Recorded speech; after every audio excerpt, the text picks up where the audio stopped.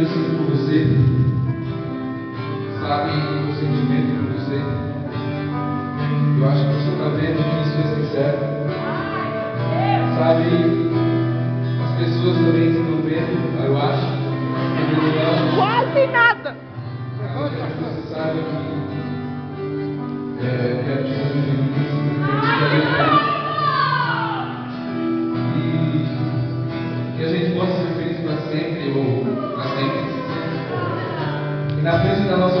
do CBB. Conseguimos uma amizade mais.